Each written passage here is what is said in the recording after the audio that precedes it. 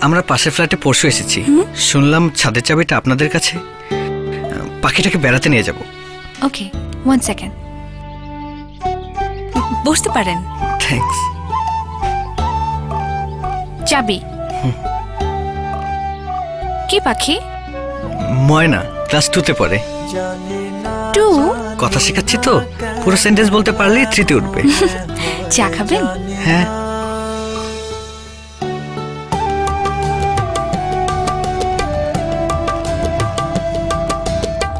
নাম বলতে পারে? আপনার নামটা? ইরা।